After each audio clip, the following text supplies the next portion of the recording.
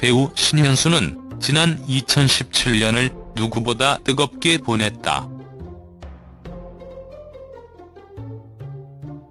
MBC, 네이버 TV 세 가지 색 판타지 우주의 별이를 시작으로 MBC 군주 가면의 주인 JTBC 청춘시대 2 그리고 방송 중인 KBS ETV 황금빛 내 인생까지 쉬지 않고 달렸다. 그가 2015년 12월 방송한 SBS 드라마 리멤버 아들의 전쟁으로 TV 데뷔한 것을 고려하면 불과 1년 만에 눈부신 성장을 한 것. 단순히 출연작이 늘어난 것이 아니라 웹드라마부터 사극, 청춘극, 멜로극까지 다양한 장르를 섭렵하며 연기 내공도 쌓였다. 수상의 기쁨도 누렸다. 2016 아시아 아티스트 어워즈에서 라이징 스타상을 거머쥐었던 그는 2017 AAA에서는 뉴웨이브상을 수상하며 2년 연속 쟁쟁한 연기자 선후배들과 어깨를 나란히 했다. 기자는 이 인터뷰 전에 신현수와 두 번의 인터뷰를 했다. 데뷔부터 그의 연기 목표까지 많은 걸 이미 듣고 기억하고 있다.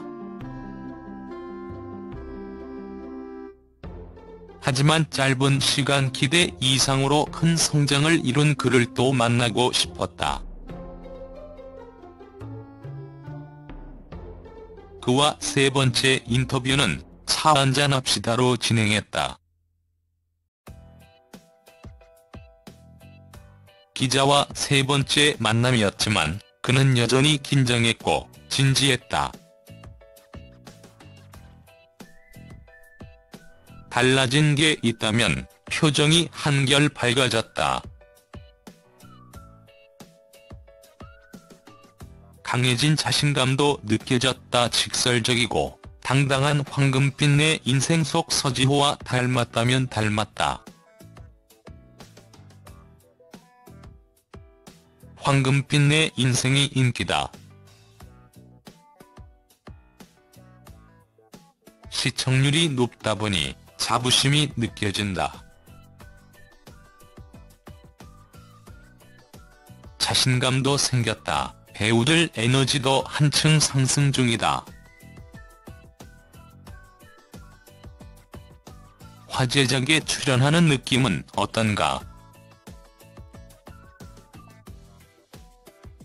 개인적으로 좋다. 시청률이 높고 낮음을 떠나서 안에서 만들어가는 이야기가 재밌다.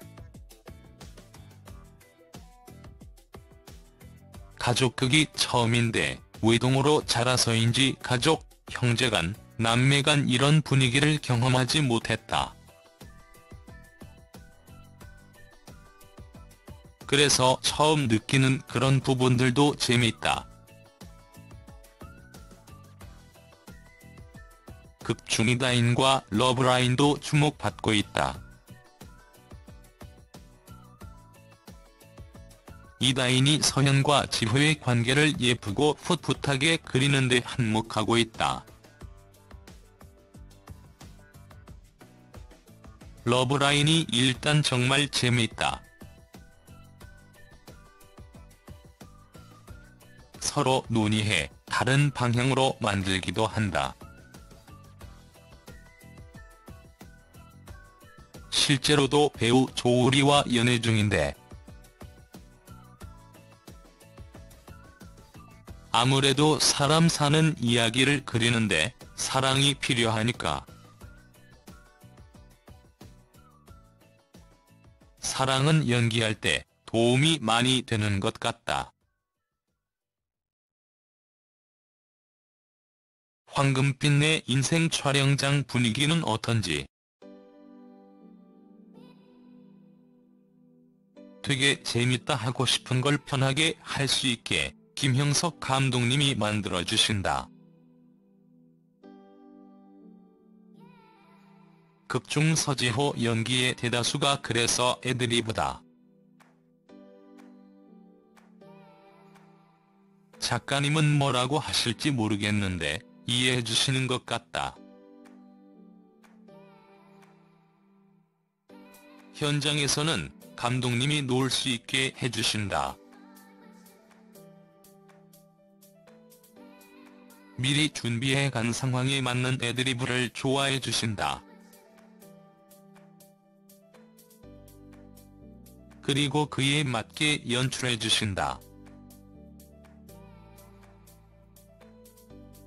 다행인 것은 상대 배우들이 그런 애드리브에 오케이 해준다.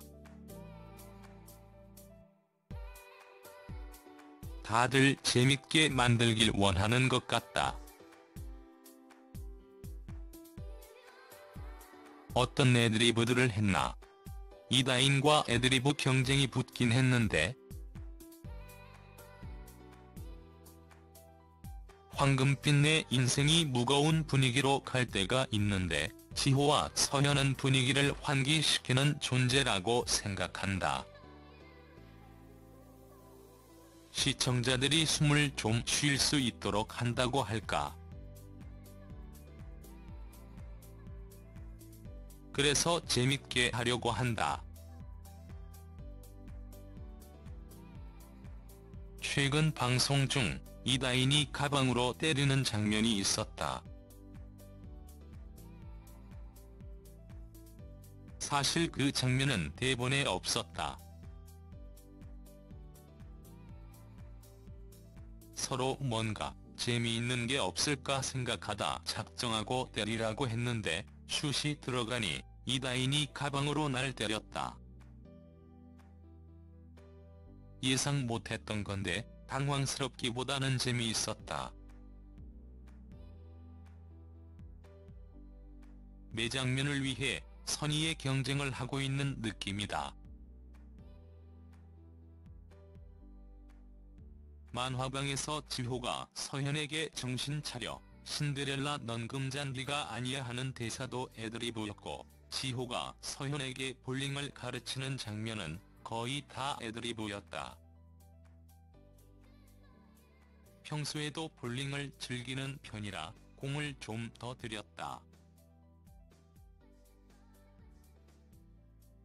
이런 걸 하고 나면 스크립터한테 가서 죄송하다고 한다.